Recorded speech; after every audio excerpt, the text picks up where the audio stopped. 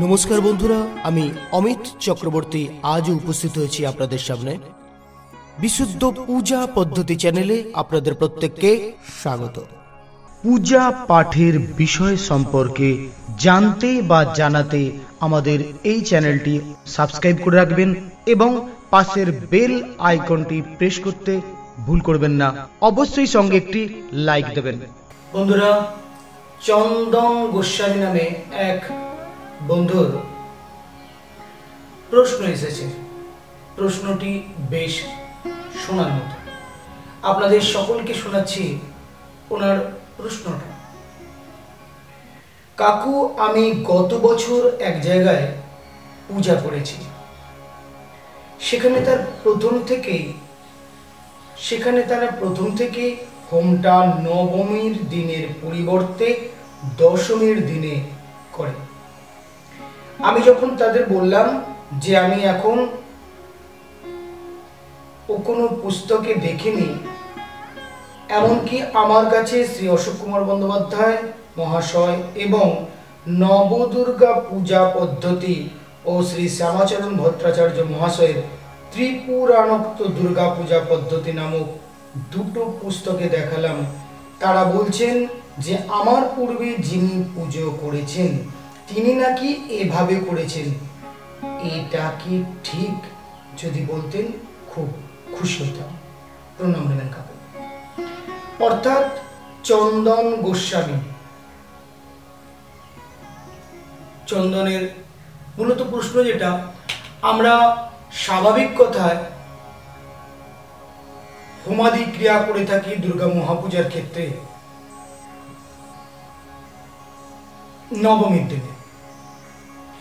আর পুস্তক বা শাস্ত্র মতে আমরা যে পুস্তকই ফলো করি না কেন, প্রত্যেকটি পুস্তকেই কিন্তু নবমীর দিনে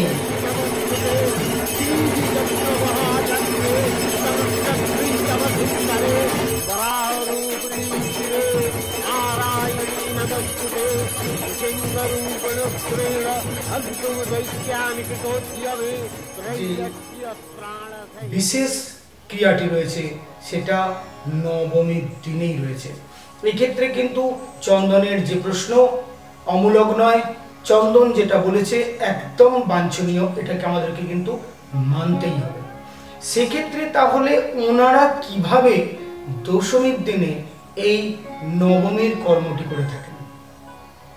উনি বলতে চাইছেন বা ওনারা বলতে চাইছেন যেটি যে এক্ষেত্রে যেহেতু আমাদের পুরানো পুরাহিত, পুরানো পুরোহিত করে গেছেন এই কর্মটি, তাই আমরা করতে বাধ্য এবং আমরা এভাবেই করব। তো সেক্ষেত্রে চন্দ্রনকে একটা আমার ব্যক্তিগত জীবনের ছোট্ট একটি ঘটনা শোনায় যে ক্ষেত্রে আপনারা শুনলেও কিন্তু অবাক হবেন। আপনারা কখনো কি এই প্রশ্নটা করেছেন বা জানতে চেয়েছেন? নবপত্রিকা স্নান। নবপত্রিকা মহাস্নান ব্যতীত দুর্গাপূজা কি কখনো সম্ভব?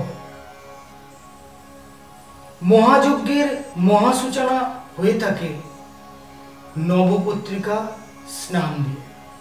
সেক্ষেত্রে আমি এমন এক স্টেজে পূজা পাঠ করতে গিয়েছিলাম, যেখানকারের পুরোহিত বা পণ্ডিত মশাই বলেইছিলেন বা দীর্ঘদিন করেও আসছিলেন এটি যে সেখানকার প্রায় বত্রিশ বছর থেকে বত্রিশ বছরের পূজা বা তেত্রিশ বছরের পূজা, সেই তেত্রিশ বছরের ভিন রাজ্যের পূজা, সেক্ষেত্রে সেখানে কিন্তু নবপত্রিকা বাসিনী দুর্গার যে বিশেষ পূজা, যে নবপত্রিকা দিয়ে এই মহাযজ্ঞের সূচনা, সেই সূচনাটাই হতো না।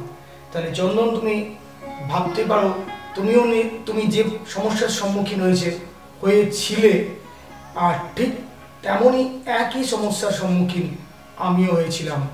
সেক্ষেত্রে গিয়ে যে আমি কেমন করে এখানকার পূজা পাঠ করব নবপত্রিকা যেখানে মহাস্নানের বন্দোবস্তটাই নেই। শুনলে অবাক হতে হবে বন্ধুরা, তাদের মন্তব্য যে এখান থেকে পঁচিশ কিলোমিটার দূরে পুষ্কর। তুমি কি বলছো, পুষ্কর গিয়ে আমাদেরকে স্নান করিয়ে নিয়ে এসে তারপর আমরা পুজো পাঠ করব? এটা কি সম্ভব? এটা কখনোই সম্ভব নয়, নবপত্রিকা স্নান হবে না। শুনলে অবাক হতে হবে, তিনি কিন্তু ব্রাহ্মণ ঘরের ভদ্রমহিলা, আর যথেষ্ট কিন্তু ওনার দাপট আছে সেখানে। ব্রাহ্মণ ঘরে। নাম তার বলা হয়তো ঠিক হচ্ছে না কিন্তু আমরা যে দেশের বাসী, তার নামেই ওনার নাম। সঙ্গে টাইটেলটা ব্যানার্জি তো সেক্ষেত্রে আপনি মা, আমাদেরকে ভাবতে বাধ্য করায় যে পুজো পাঠটা কি শুধুমাত্র একটা ব্যবসা? না, আন্তরিকতা। এক্ষেত্রে কিন্তু একটা বড় প্রশ্ন, একটা বড় জিজ্ঞাসা তাদের কাছে কিন্তু পুজো পাঠটা কোনোরূপ পুজো পাঠ নয়, তাদের কাছে শুধুমাত্র এটা ব্যবসা, একটা ব্যবসার নিরিখে তাদের এক জায়গায় মানুষকে ডেকে জড়ো করে তাদের হৃষ্টপুষ্ট হতে পারলেই কিন্তু তাদের মুখ, জায়গাটা কিন্তু ইটস ওকে সেক্ষেত্রে পুজো পাঠের কোনো ব্যাপারই নেই। তাহলে চন্দন তুমি ভাবতে পারো যে তাদের মত শুধু এক নয়, একাধিক মতানৈক্য তৈরি হয়েছে আমার সঙ্গে। লাস্টে একটা শেষ মুহূর্তে আমি সেই বয়স্ক ভদ্রমহিলাকে বলতে বাধ্য হয়েছিলাম যে, আপনি পারলে এই পুজো পাঠের দায়িত্ব আপনি নিন, আমাকে এখান থেকে ছুটি দিন, আমি আজকেই টাটা বাই করব, আমার টিকিট কাটার টাকাও আপনাদেরকে দিতে চন্দন, এটা মজার বিষয়, শুধু তোমার সঙ্গে হয়নি, এহেন পরিস্থিতি অনেকের সঙ্গেই হয়ে থাকে। তাই আমার নূতন পুরোহিত মণ্ডলী বা বন্ধুদেরকে বলব সবসময় কিন্তু সজাগ থাকবেন, খুব বেশি উত্তর করবেন না। যেখানে যেমন, সেখানে তেমন। উনি যদি বলছেন জল উপর দিকে ওঠে, আপনি বলবেন হ্যাঁ জল উপর দিকে উঠে আর যখন বলবেন যে জল নিচের নিচের দিকে নামে, নিচের দিকে বয় হ্যাঁ বয়। তো চন্দন, তোমার সমস্যাটা কিন্তু যথেষ্ট বোঝার মতো। যে সমস্যা তুমি বলছো, এটা মোটেই মেনে নেওয়া যায় না। বা আজ পর্যন্ত কোনো তথ্য পেয়েছে কেউ? আমাদের ফলোয়ার যেসব বন্ধুরা রয়েছেন, যারা বিজ্ঞ রয়েছেন, আমাদের চেয়ে বিজ্ঞ, যারা আমাদের চ্যানেল ফলো করে থাকেন, আমি চন্দনের নিরিখেই, চন্দনের মতোই আমি সকলকে প্রশ্ন, প্রশ্নটা ছেড়ে মানে করছি বা জানতে চাইছি, এটা কি সম্ভব? যে নবমীর দিনের মহাযজ্ঞের মহাযজ্ঞের যে মূল যজ্ঞ হোম যাগ সেই হোম যাগটা কি কখনো দশমীর দিনে সম্ভব? এটা কখনোই নয়, কোনো পুস্তকে এখনও পর্যন্ত আমি পাইনি। যদি কেউ পেয়ে থাকেন, অবশ্যই কিন্তু বিধিবৎ যদি কেউ পেয়ে থাকেন, অবশ্যই আমাদের সঙ্গে যোগাযোগ করে সেটা জানানোর চেষ্টা করবেন। আমরা খুব কৃত হব। তো সেক্ষেত্রে আমি সেখানে কিন্তু সেই ভিন রাজ্যে অবশ্যই সেই ভদ্রমহিলা ব্যতীত অন্যান্য কিছু বেশ ভদ্রমহিলা রয়েছেন যারা কিন্তু সত্যি পুজোটিকে মন প্রাণ দিয়ে ভালোবাসেন, তারা কিন্তু সহযোগিতা করেছিলেন এবং আমি সেখানে পঁচিশ কিলোমিটার দূরে গিয়ে পুশ করে না নিয়ে গিয়েও আমি সেখানে কিন্তু নবপত্রিকা স্নান করিয়েছিলাম, মহাস্নান করিয়েছিলাম। অবশ্যই সেটা পূর্ণ বিধিবদ্ধ হয়েছিল।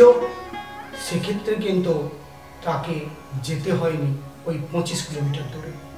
অবশ্যই সেক্ষেত্রে যদি কর্মধারাটার জ্ঞান থেকে থাকে, তাহলে কিন্তু তাকে পুষ্কর খুঁড়ে খুঁজতে পঁচিশ কিলোমিটার দূরে যেতে হবে না।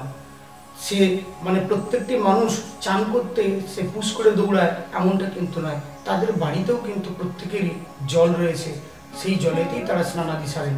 তাহলে তাদের জন্য স্নানাদি যদি ওখানে হয়ে থাকে, এই নবপত্রিকা স্নান তাহলে কেন হবে? এই ছোট্ট প্রশ্নের উত্তরটি তাদের পণ্ডিত মশাই বা পণ্ডিত কুলের কাছে ছিল না বা এই যে ভদ্র মহিলা যিনি ওখানকারের আহ, মানে হত্যাকর্তা বিধাতা উনি পুরোহিত উনি পণ্ডিত কুলেরই হয়তো সন্তান তার মধ্যে কিন্তু সেই জ্ঞানটি ছিল। তো চন্দন এতে কষ্ট পাওয়ার কিছু নেই। আগামী দিন আরও বড় বড় সমস্যার সম্মুখীন হতে হবে। দুর্গা মহাপূজা মানে প্রত্যেকের কিছু না কিছু অভিজ্ঞতা সঞ্চয় হয়। আমি প্রত্যেককে অনুগ্রহ অনুগ্রহ করে বলব, তাদের এই যে অভিজ্ঞতা, সেই যে অভিজ্ঞতার কথা শেয়ার করেছেন আমাদের সঙ্গে চন্দন আমি আমার অভিজ্ঞতার কথা শেয়ার করলাম। আপনারা সকলে আমাদের সঙ্গে শেয়ার করবেন। আমি তুলে ধরবো আমার এই চ্যানেলের মাধ্যমে।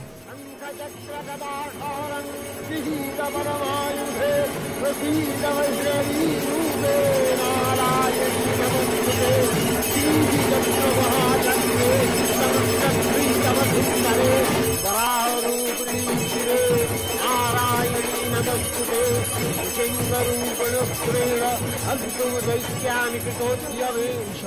পাওয়ার জন্য সাবস্ক্রাইবটা করে নেবেন। পাশের বেল আইকনটা প্রেস করবেন। লাইক দিতে অবশ্যই ভুলবেন না। সঙ্গে থাকুন, ভালো থাকুন। দেখতে থাকুন বিশুদ্ধ পূজা পদ্ধতি। নমস্কার।